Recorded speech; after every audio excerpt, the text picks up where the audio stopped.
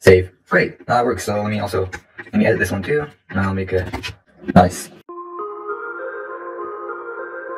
Hi, in this Swift tutorial, we'll create an app that uses a proper MVC design, which is model, view, and controller. The model will have two screens displaying the user's favorite athletes. The user will be able to edit and add athletes. I have a starter project here. In this starter project, there is an athlete table view controller. We will implement the rest of the code and we'll start an app. We can see that we need to add an athlete type. So let's create a new file and let's make sure it's a Swift file. Click next. And let's name this file athlete. Athlete. Now let's create a athlete struct. So in our struct, we'll have a age, will be type type string, and we'll also have a name. So age will actually be an integer, but we'll have a name property and we'll have a computed property, so description. And we'll have a league and then a team. League. And then the team the athlete is in. And an example of description here is I'm just returning their name and then is age years old and plays for the team and the league. Now we need to create and implement a view controller subclass for a form. So let's create a new file. Let's choose a Cocoa Touch class next, and make sure it's a subclass of the UI view controller. And I also named it Athlete Form View Controller. Let's click Next. Now head over to the main storyboard and let's set the class of our Form View Controller. So let me extend the side panel to the new athlete form view controller we created. Okay. Athlete form view controller.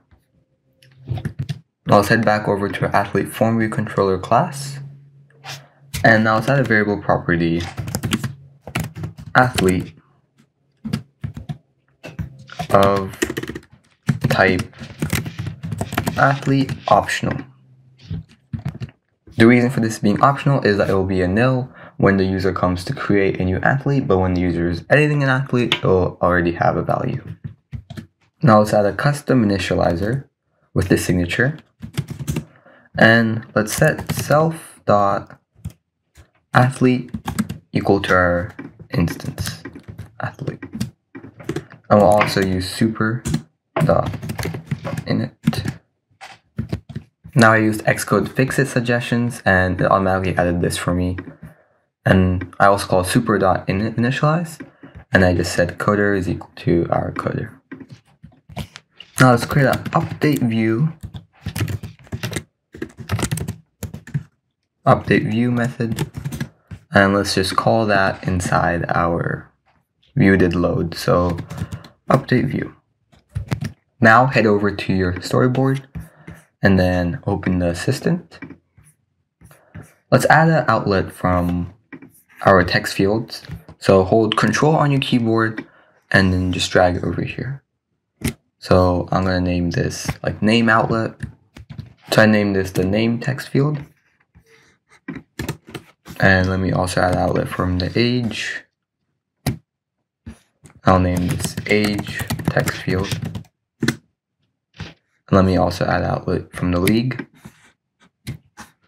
I'll name this the league text field. And let me also add one last outlet from the team. And that'll be the team text field. Connect. I realize I mistyped um, league, so I added the U here. Now, just add an action from the save button to hold control and drag it over here too and this time make it an action. I'll just save the name it save button. If you're getting an issue with the outlet, I just deleted it and reconnected my age text field, so that should fix it. So inside our update view function we created here, let's check if the athlete is null or not, and if it is, let's unwrap it and set the text fields text to the athlete's information. So if let let athlete so athlete we created here, and if it's equal to let me just set equal to um athlete I'll say one for now. Then I will let me also add an else statement here. Oh. Else we just do nothing but and we'll set our name text field.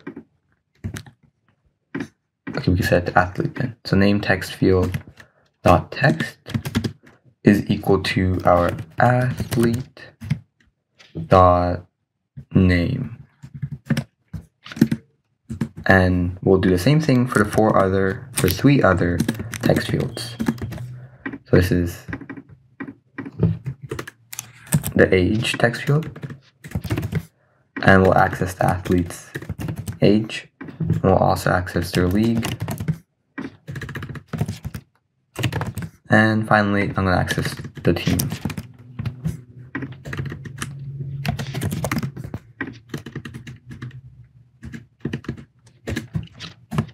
Okay. One other thing, since we're just dealing the age as a normal um, character, all we can do is just simply change our age over in our athlete to a string. Let's head back over to our storyboard. Let me close the sidebar. And now we can implement the save button. So when it is pressed, this time we'll create a new athlete. So the basic code is we'll use a guard since it's optional and we'll check if there's text. If this, we'll just set the name equal to the name and we'll set the age string is equal to the age.text and then we'll set the age is equal to the int value of the age string and league is equal to league.text. And here, um, let's, fix this actually by, if we want to keep it as a integer, we can keep it as an integer, but when we declare over here, we'll just set it to the string value. Okay, let me take that off. Let me close this. So one other thing, we'll go over to our athlete place and we'll put name in front of age. Let's come back to our storyboard. And then I converted the int we have here to a string. Great. So let's now head over back to our storyboard. Now, all we have to do is just implement our athlete table view controller. So let's head over to our athlete table view controller. As we can see, the error we had earlier is gone because we implemented the athlete struct. So now when we're dealing with um, the athlete table view controller, most of the code is already implemented. So all we have to do is know which of the cells has been tapped and when to refresh the data. Now let's control drag our add athlete segue to create a IB segue action. I'll drag it over here. So it's a segue action and we can just name this add athlete segue. Make sure the arguments is none and I'll just name it add athlete. We'll do a similar thing with our edit athlete. So control and then drag it over here. And I'll name this edit athlete. When the arguments include sender, connect. Now instantiate a new instance of the athlete form view controller. So I just double click the given one and add athlete.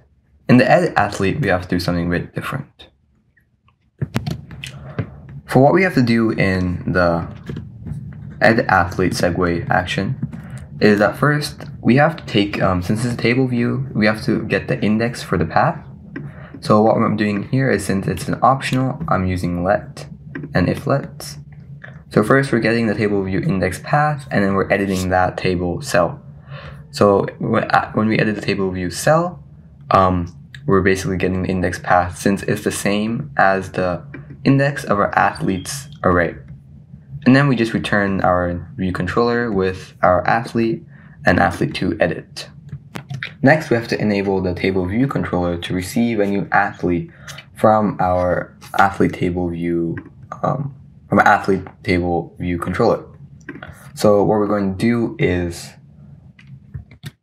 okay. So this is, might be a tough one, but we have created an IB action function for our unwind segue, and I called it prepare for unwind, and we'll be taking in the UI um, storyboard segue. So that's one of the parameters. So what we're basically doing here is using a guard to see if we can successfully unwrap the athlete object coming in.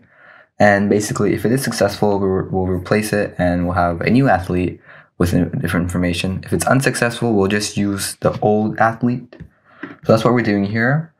And now all we have to do now is connect our athlete segues together. So we have to create an exit unwind segue and then um, so first let's do that. So hold control on your keyboard and drag it over to the exit.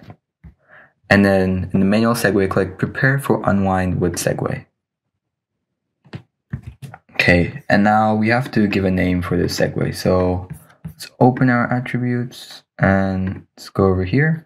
So let's name this, um, I guess, new or form, form, we'll just do segue, segue form. And make sure you remember the name because we we're going to use this later. It has to be exact or else you run into build issues. So form segue. Okay.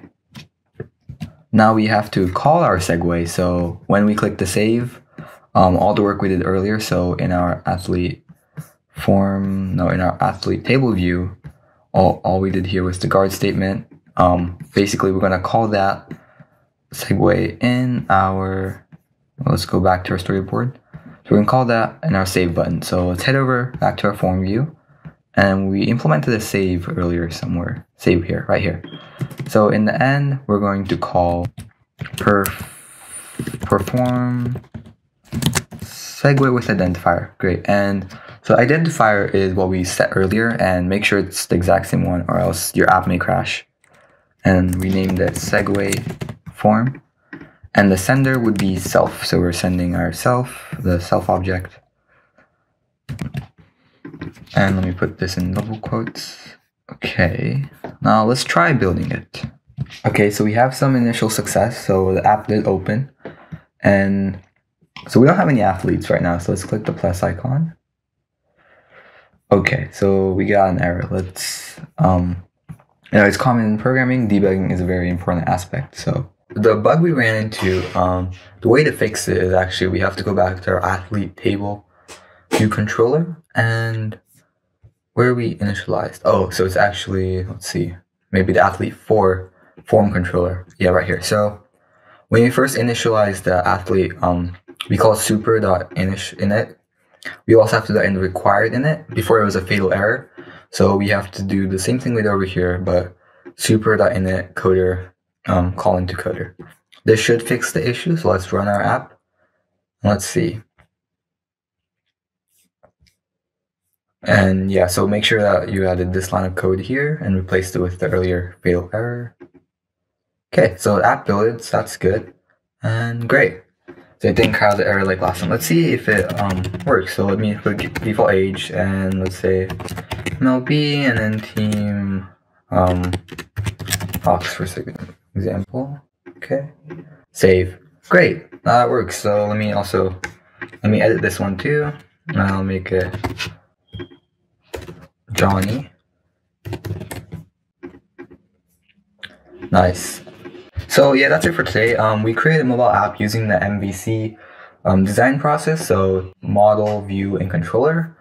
And then we also explored how to um, table views and then transfer data and state management. Uh, so yeah, that's it for today's video and see you in the next one.